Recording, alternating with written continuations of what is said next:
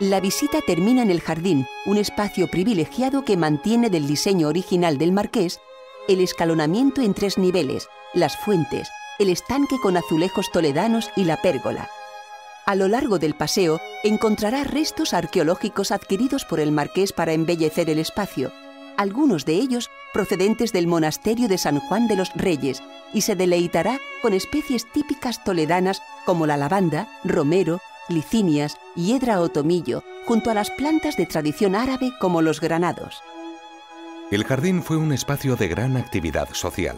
Aquí se recibieron visitas importantes como la del rey don Alfonso XIII y los presidentes, ministros y miembros de la realeza que visitaban Toledo.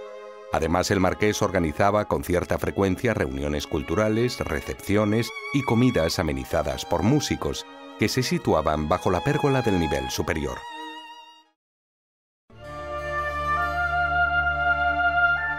El Museo del Greco espera que la visita haya cumplido sus expectativas, invitándole a pasear de nuevo por el museo cuando lo desee y descubrir nuevos aspectos de la maestría artística del Greco, deteniéndose en ocasiones en su técnica o bien en otras en su poética.